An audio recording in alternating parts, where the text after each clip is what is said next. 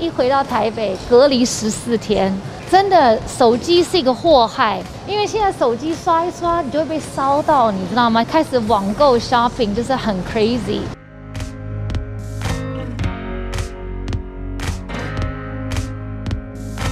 Hello，自由时报 iStyle，大家好，我是 Melody，很开心在这里见到大家。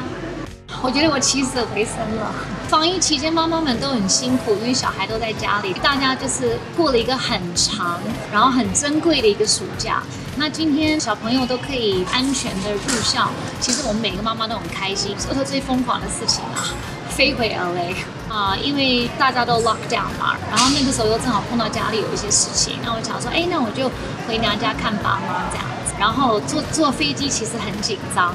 因为那时候就是新闻啊什么的，然后大家都是全副武装他们，但是很开心我做了这个决定，因为我真的是有空在那边陪伴他们。因为我买了很多东西了，衣服啊、包包啊、鞋子啊。那衣服、包包、鞋子我都告诉我自己说，you know 是为了工作这样子。虽然工作好像都没有穿到我自己的衣服啊，那也没有特别疯狂，就是本来以为说不买了，然后突然间在隔离十四天就买很多，就好像把这三个月没有买的全。部都买齐了这样子，因为我已经付学费付了很多年了，所以不太会买到就是不喜欢。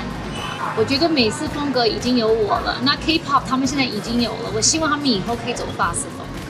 因为我觉得像你看 Fred，他整个那个很优雅，他每个 collection 就像我现在手上戴的这个 Force Ten 一样，就是他很低调，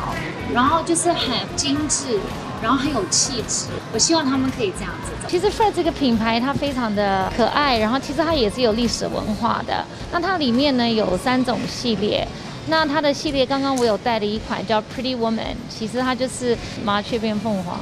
，Julia Roberts 在里面戴的那个红碧玺的一个项链，它的那个所有的设计呢都是用心来做成的，所以就是说心心相印，看什么样的爱情适合什么样的。